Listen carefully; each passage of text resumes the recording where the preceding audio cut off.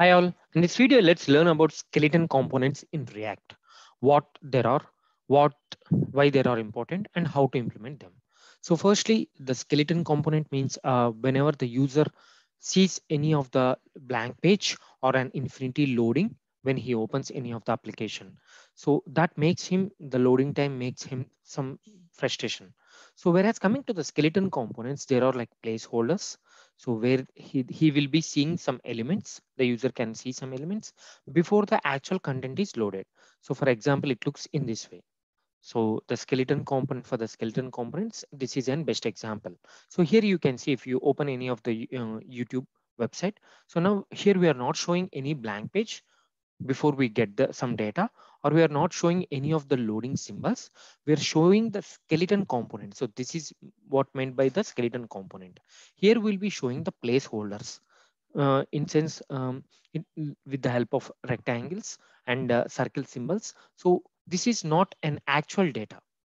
These are some placeholders. We'll be showing them before the real data comes into the picture. So this is about the skeleton component. Why it is important to use skeleton component is, so having this type of skeleton component is considered to be a good user experience because it gives the user some information how the content is going to be displayed in the web page.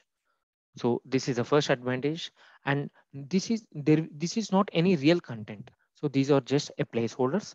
So this it is not a real actual content. It only serves as a mimic what the page is going to look about.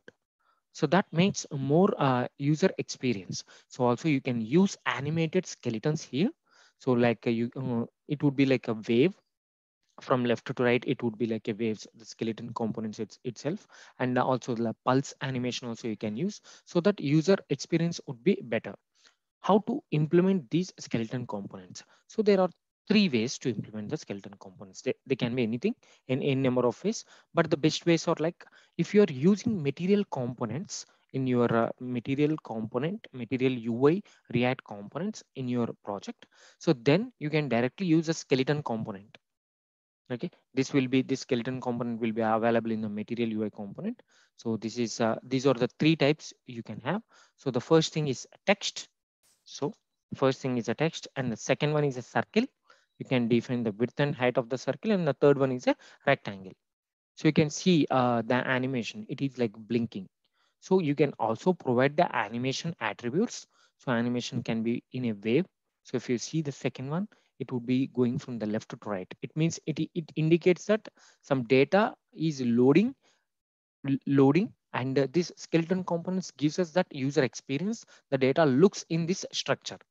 It would look in this skeleton so this is how you can also use a pulse animation, which looks in this way.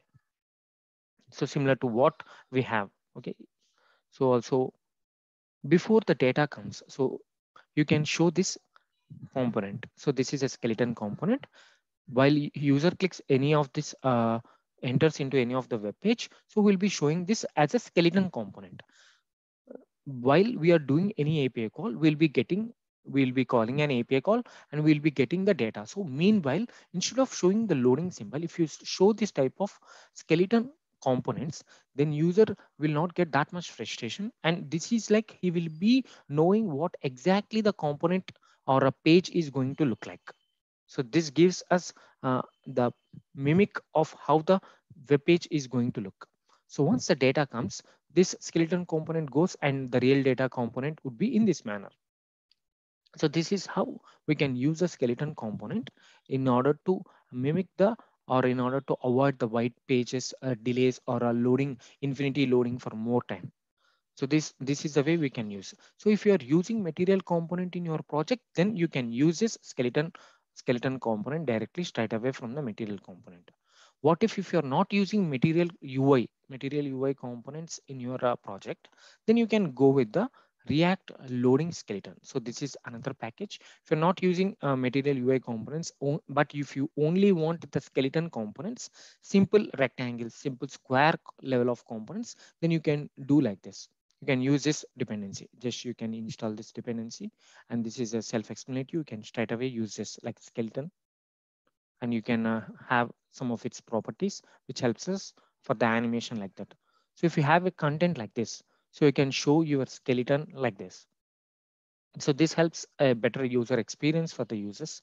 So this is a simple library, React loading skeleton library by which you can show only the rectangles and circles. What if, if you want to show the complex shapes? So then we have another library called React Content Loader. So this is another library. So where you, this is SVG based API. So here you can play around whatever, how you want the uh, skeleton component should be. So you can configure here with all these options. You can also select the background image, not just the plain gray images like this. You can also select the background image of the skeleton. So you can play around these options and it will generate you this component. So straight away you can copy this component and you can use this component throughout your application. So in this way, and also it can provide the complex shapes not just simple shapes as a React loading skeleton provides. This provides more uh, options for us.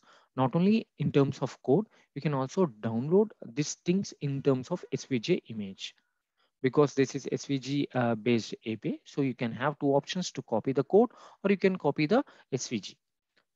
So usually while you're using this skeleton component, you can write a logic like this, like uh, if, if the component is loading, so you have uh, done an API call and you're waiting for the data, then you can show the skeleton component. So once the data comes, you can uh, hold, uh, you can uh, disable the skeleton component and you can show this real component, avatar component.